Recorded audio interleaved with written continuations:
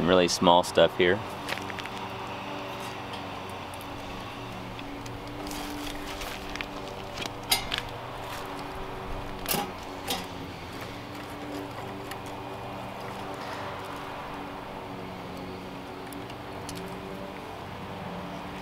Marhaba. Zdravo and Godag. Hey, it's Tom Mills from GreenShortz DIY, and I wanted to do a quick live stream today for four reasons. For one, I just passed the 70,000 subscriber mark, and that just blows my mind. And I also wanted to thank my latest patron, Ross. Ross, thanks for joining. You'll get your official welcome and your name placement in my next edited video. Can't do that in a live stream. And you've got access to the growing library of shorts over on Patreon. So short videos that I'm talking about what's going on in my backyard and uh, so those are available over there. And if, if you're, the rest of you are curious about what that means, then I've actually got a couple of short videos that are available for free. You don't have to, to join to watch them just so you can see what I'm trying to do over there with some of these day-to-day -day sort of backyard short uh, videos about what I'm doing in my backyard laboratory ecosystem.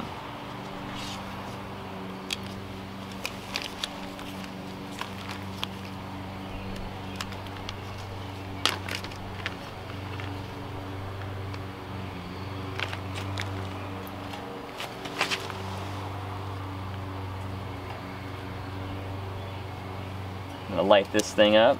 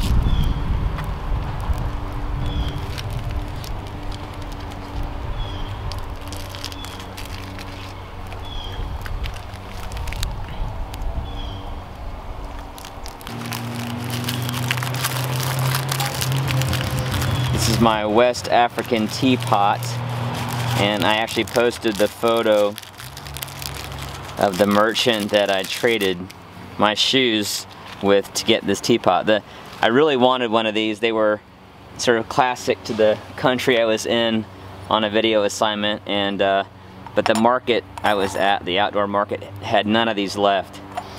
So I, I saw his, he was actually making some tea and I said, will you sell me your pot? And he said, I will trade you for your shoes. So I was like, okay, deal. So he was happy. I posted his photo, um, and you can see he was happy with the trade, and I was happy too.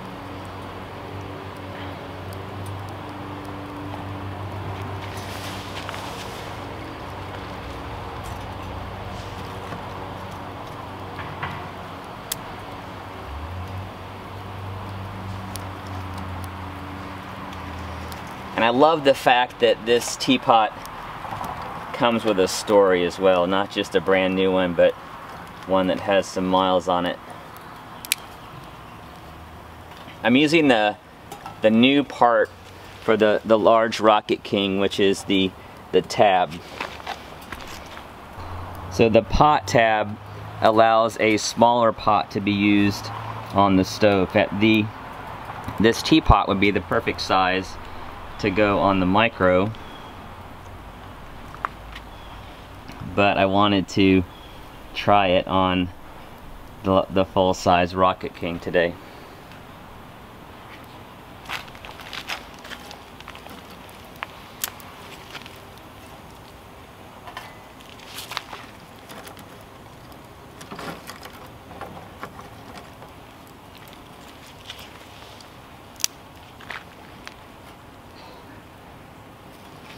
Actually slide this to the, the back. That's where most of the fire is.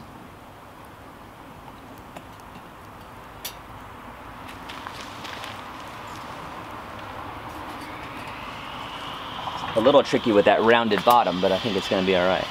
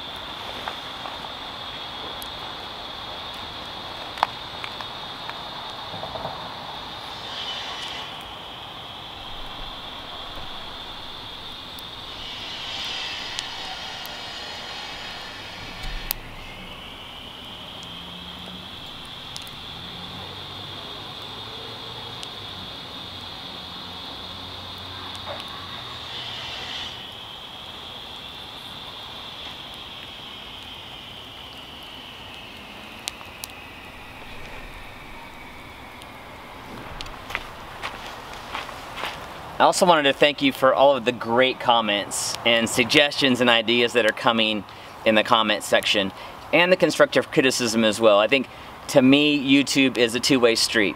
I make videos but I know I'm not right about everything and I'm still teachable. I still want to learn here so keep those comments coming and ideas. I really appreciate it.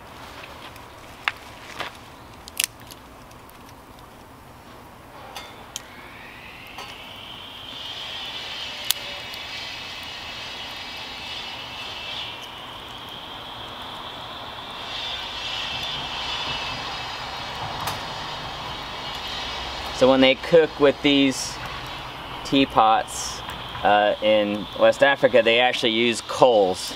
so I'm using fire, which is a little bit different.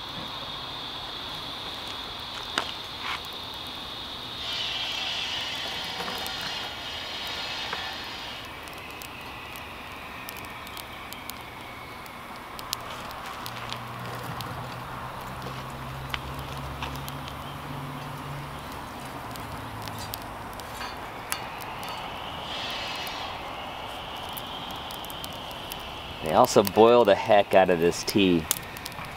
I watched them do it and it was like they boiled it for about 10 minutes in the pot. That's the steeping process.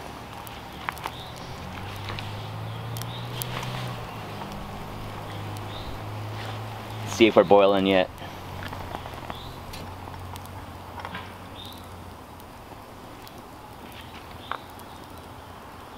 Not yet.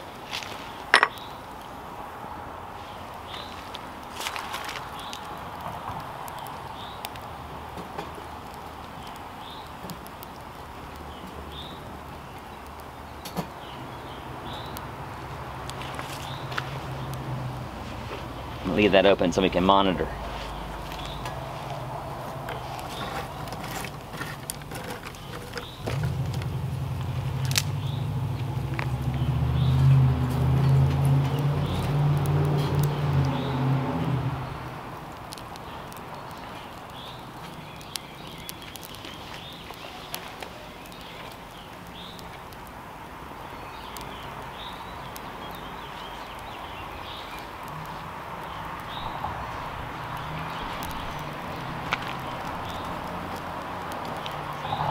The second thing I wanted to quickly mention was next week's video. Which right now is just a stack of logs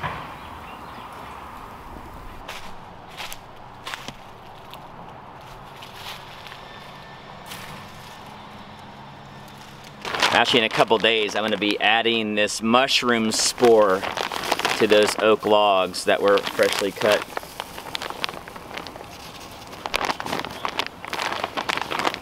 Got this from Fungi Perfecti. These are shiitake inoculated dowels that will drill holes and and plug in to those logs to grow mushrooms. So stay tuned next week for that video. In addition to the spore, I got some sealing wax. Basically cover up the spore and the ends of the logs with that. So it's pretty interesting process. We'll be doing a DIY video on that next week. Looks like he's ready. Not ready yet, it's boiling.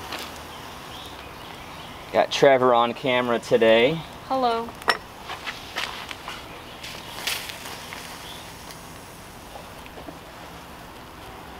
I'm gonna cover this up, it's boiling.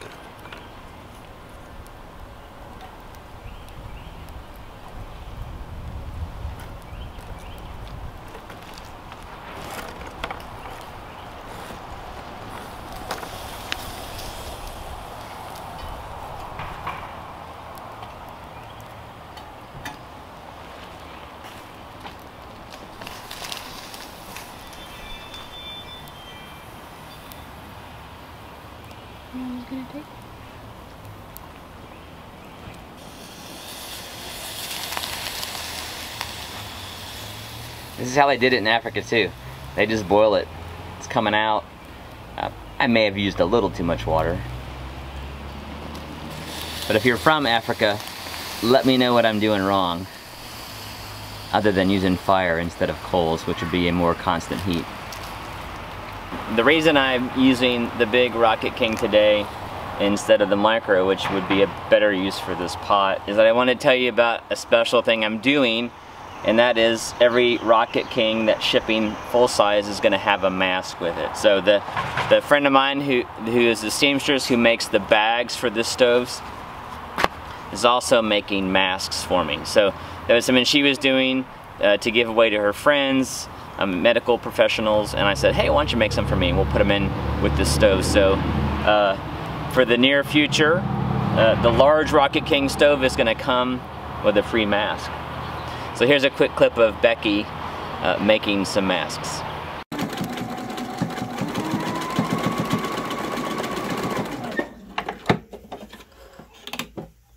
Do the same on the other side.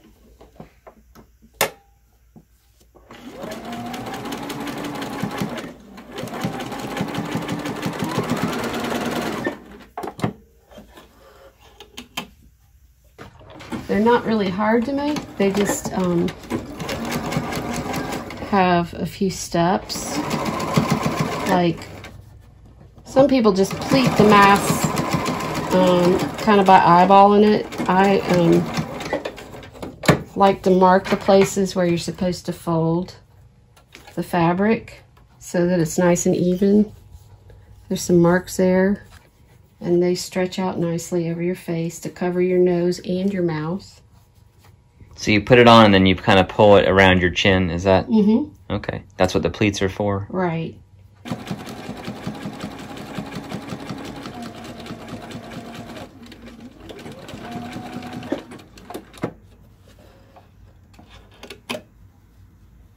So I think this tea is done, and I'm hopeful that it's done because I'm out of firewood. And so it, in just a second, I'm gonna pour myself a cup of tea, but first let me say that it, as always, our mission here at GreenShortz is to help you see green so you can be green. And a rocket stove is green because you used found fuel. Of course, when you do things yourself, you can also save a little green. Thanks so much for watching. Please like and share. Keep all the great comments coming. And we'll see you here for a new GreenShortz DIY video next Friday.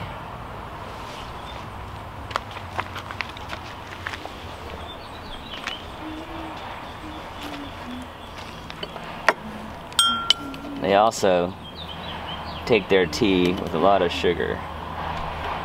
Yeah, that ought to be enough.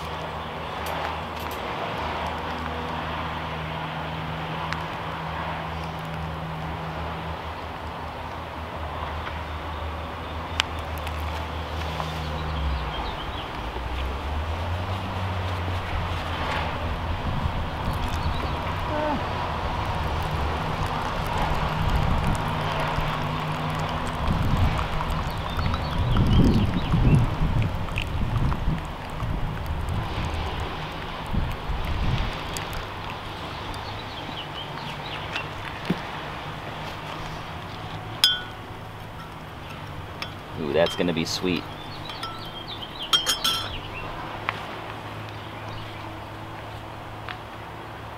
Thanks for watching.